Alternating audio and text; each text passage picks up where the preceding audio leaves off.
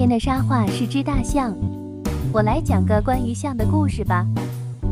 有一天，四个盲人坐在树下乘凉，有个赶象的人走过来，大声喊着：“象来了，让开点儿！”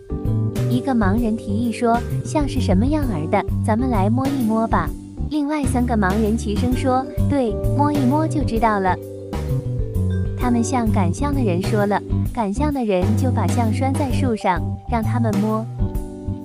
一个盲人摸了摸象的身子，就说：“我知道了，象原来像一堵墙。”一个盲人摸着象的牙，说：“像根又圆又光滑的棍子一样。”第三个盲人摸着象的腿，就反驳他们说：“你们俩说的都不对，像根柱子差不多。”第四个盲人摸着象的尾巴。